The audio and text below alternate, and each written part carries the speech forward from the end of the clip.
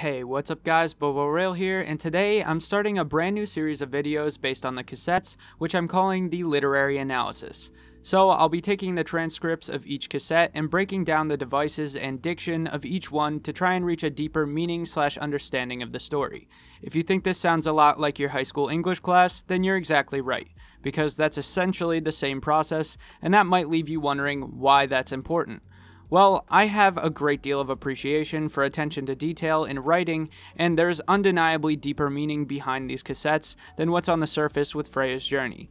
And I hope through the duration of this series to reveal that deeper importance and make it more easily understandable to those who didn't read very closely and or just didn't care about them to begin with. So, with that out of the way, let's jump into this literary analysis number 1, which is a combination of cassettes number 1 and 2.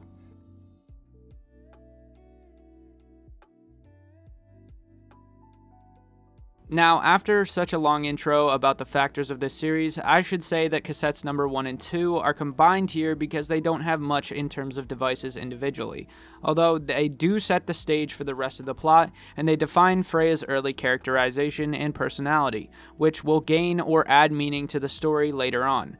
If you'd like to hear all of the cassettes in order, I will have the audio for all of them linked below, and the transcript with annotations for these two right below that. So, this first bit characterizes Freya as impulsive, irrational, and quick thinking. She's willing to take on targets much bigger than herself, and she has somewhat misplaced confidence because of how young and cocky she is. Now, obviously, this is quickly subsided when she realizes the consequences of this, but it's important to note Freya's perspective and behavior at the very beginning of her journey, as it will help us understand how and when she starts to change as a character later on. Now, a little after that, we learn about how she found the cassettes. Despite mocking and being judgmental towards Adam, his perceived value of the cassette player rubbed off on her and made her grab an item that has very little survival utility. I view this as an example of how Freya still sees the importance of sentimental value, and a mix of her curiosity and wanting to personally hurt Adam made her take it. This idea of wanting to cut him deep emotionally is reinforced in the next section, where she views this emotional harm as payback for the physical harm that he caused her in the duration of the fight. After that, she is finding the comfort in the fact that the sentimental aspects of humanity still exist in the world as dark as the nuclear apocalypse, which to me mildly foreshadows her future obsession with these tapes. That marks the end of the first tape, which I view as the weakest of all of the tapes in terms of literary devices, like I said earlier. But number two definitely gives us a bit more to work with. To start, Freya treasures all of her pre war relics and knickknacks. I see all of these items that she's lost as symbols of her innocence, because of their bright colors, and in the case of the troll, it's a toy that's played with by children, and it being named Loki after the Nordic god of mischief definitely reinforces that idea. Innocence and the loss of it is a major reoccurring theme throughout Freya's overarching story.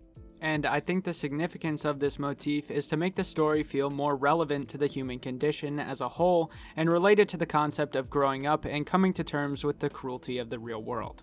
Moving on to the next section of the story, here she starts to pick apart Adam's cassettes, trying to find his weaknesses, which are rather apparent as Adam is a pretty morally corrupt individual. Either way, she basically just makes fun of him and calls him a loser. So that's not that important, but after that, she emphasizes that her current shelter in the van is completely temporary and offers little to no security. Here, I should point out the detail of the curtains could be very symbolic. In literature, red has a lot of meaning as a color, and my interpretation of it would be the violence of the world contrasting in comparison with her innocence represented by the white side of the pattern.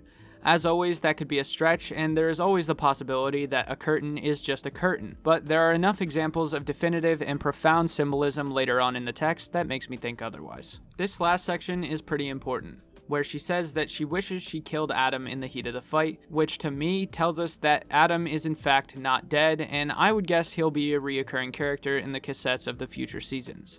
She then restates how she feels very insecure in her temporary living conditions and is thankful for her book, which will provide essential survival skills for her moving forward and will start her infatuation with the traditionally Nordic religion. So that's it for the first two cassettes. I'll be covering every cassette until the end in order, but I'd love to hear some feedback from you guys on the series to see how interested slash how much you're invested in the deeper meaning of this text. It's not that glaring with these first two, but I promise that especially in the ones moving forward, there are a lot more symbols, motifs, and illusions that have more airtight evidence to back them. Anyways, that's all I've got for you guys today. This has been Bobo Rail from the Cristiferbeast channel, and I'll catch you all in the next one.